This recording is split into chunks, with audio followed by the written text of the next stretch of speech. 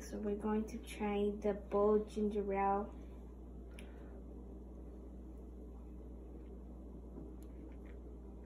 Good. It's good.